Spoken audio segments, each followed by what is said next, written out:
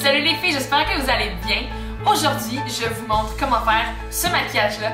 Donc, c'est un maquillage du printemps parce que moi, je suis tellement, tellement tannée de la neige dehors. Tu sais, on, est techniquement dans le printemps, mais dehors il y a de la neige, donc euh, je suis tannée.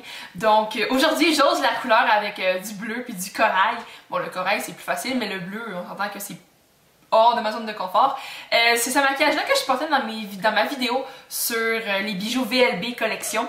Puis il y en a vraiment plusieurs qui ont apprécié le maquillage, qui ont remarqué que j'avais changé mon maquillage euh, neutre d'habitude. Donc c'est ça, je vous le fais. C'est un maquillage, qui c'est super facile à faire, ça prend pas beaucoup de temps ça donne un impact vraiment vraiment fort mais c'est pas trop. Euh, je trouve que mes yeux sortent vraiment plus avec le bleu qui, euh, est, en qui est sur ma ligne des cils inférieure. C'est vraiment vraiment beau puis euh, j'aime vraiment beaucoup ça. C'est sûr que moi j'aurais pas tendance à le porter tous les jours parce que je serais pas comme assez à l'aise comme mon cours d'espagnol à 8h le matin. Mais euh, pour sortir ou si vous vous êtes euh, à l'aise avec la couleur ben allez-y c'est vraiment vraiment beau.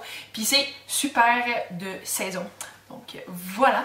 Donc ben j'espère que vous allez apprécier le maquillage puis comment je le fais puis que ça va vous donner des idées. Vous pourriez aussi faire d'autres combos de couleurs d'autres dégradés avec, du mauve ou du lilas. Ben mauve lilas vous voyez ce que je veux dire.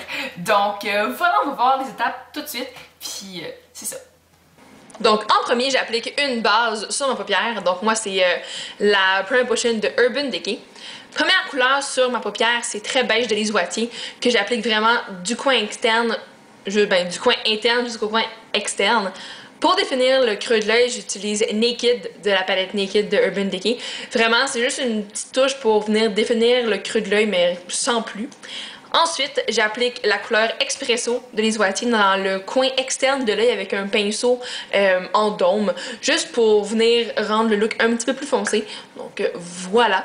Ensuite, je, viens faire le trait de eyeliner avec le traceur extra intense liquide de L'Oréal. C'est un crayon très très très foncé qui s'estompe très bien. Donc il s'étale bien pour faire un effet euh, charbonneux que je veux obtenir par la suite. Ensuite, c'est une ombre, une paupière euh, noire que j'ai appliquée dans, euh, en fait, par-dessus le liner pour rendre ça plus charbonneux, puis c'est vraiment, vraiment beau. Vous pourriez euh, laisser faire si vous voulez pas rendre ça si intense que ça.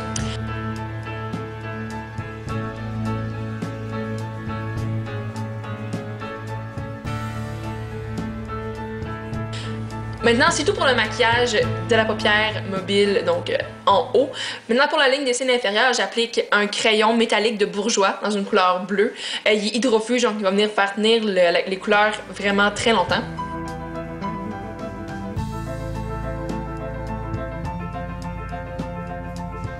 Première couleur de la palette Coastal Sense que j'applique vraiment dans le coin interne, c'est une couleur bleu pâle.